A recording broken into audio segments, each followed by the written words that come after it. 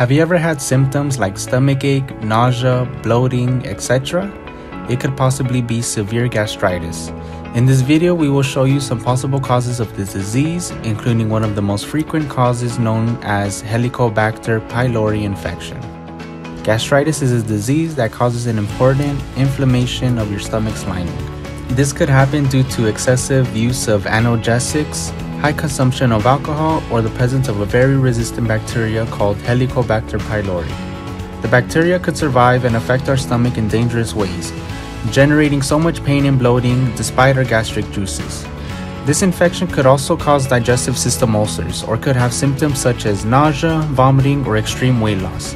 In some cases, it is known to cause an increased risk of developing gastric cancer.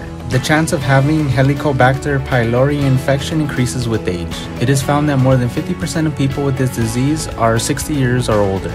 But how do I know if I have Helicobacter pylori? Well, there are two ways to know if you carry this bacteria the non invasive method of taking medication or the invasive method of an endoscopy. The first method is the most recommended due to its highest level of precision in detecting this infection on time. So if you feel symptoms such as bloating or high-side stomach, nausea, vomiting, or rapid weight loss without following any kind of diet, you could possibly be suffering from gastritis and Helicobacter pylori could be the cause. At Serra Medical Group, we strive to help you receive the best treatment to get you back into good health as soon as possible.